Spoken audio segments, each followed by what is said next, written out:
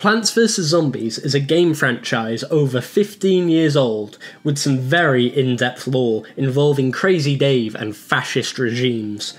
But first, why don't you subscribe to help me escape my 9 to 5 job? The story of Plants vs. Zombies starts where any good story starts. A few years ago, at the dawn of time. In the Plants vs. Zombies universe, Zombies are basically just really stupid people, so essentially your average Republican and Reform Party voters.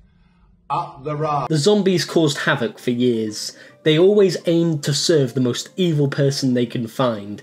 Don't ask them what they were doing in the 1940s, you don't want to know. The zombies then continued to cause chaos throughout history, but one day, the evil Dr. Gru Zomboss got beaten at a science fair by Crazy Dave himself starting a lifelong feud between the two. The next day, the World Trade Center was hit. A direct consequence of this attack was an assault on Dave's neighbor's garden. The events of Plants vs. Zombies 1 then commenced, with Dave giving the neighbor his seed, and nine months later, the neighbor gave birth to the Fred Peter, the very first plant.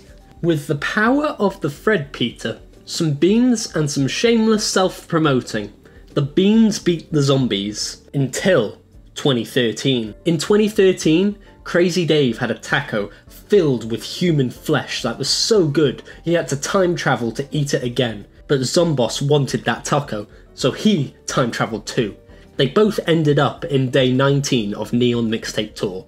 This event was followed up by the renaming of Neon Mixtape Tour to Freaky Mixtape Tour for reasons that I cannot disclose on YouTube. The only information that I can disclose to you is the Threepeater was there.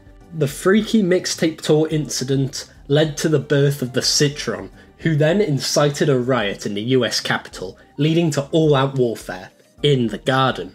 It was all out war, with Nigel Farage commanding the zombies, sending them to major UK cities to do heinous acts. This war continued for years, until there was a battle for the Neighbourville.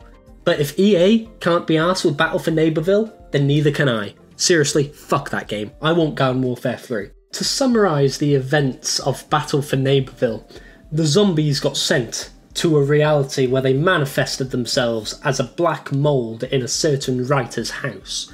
This mould then transferred the zombie's stupidity to this author and made her say some stupid fucking things on Twitter, spreading the stupidity virus further.